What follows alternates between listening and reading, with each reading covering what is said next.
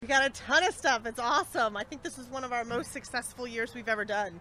Um, we've got a huge donation from our community, as well as they were very generous with cash and gift card donations. We are well over $1,500 in cash and gift card donations. Well, I, I guess the, the exciting thing and the sad thing is it's going to go out quickly. It is, unfortunately.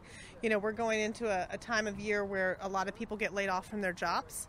Um, and so numbers can increase when it comes to how many families are homeless or actually in need. And so this these items will go to those families immediately. You know, that's one of the things I think we're most proud of in Spotsylvania County Schools is that it goes directly back to our students.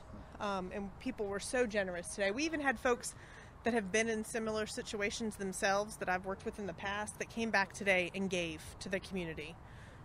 And they've said Treasure House was a lifesaver for them and they wanted to give back.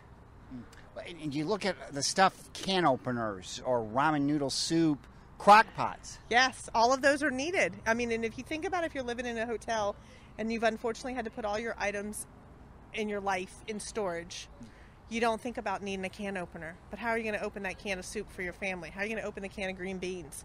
Those make a difference. Crock pots, like I always say, those are life saving for folks. Laundry detergent, you know, you never realize how much it costs to get your laundry done. And detergent is one of those factors that we can help support with, along with all the hygiene products and food. Food is a huge necessity. You know, we have a, a very big food insecurity, and we're getting ready to go into the holiday season.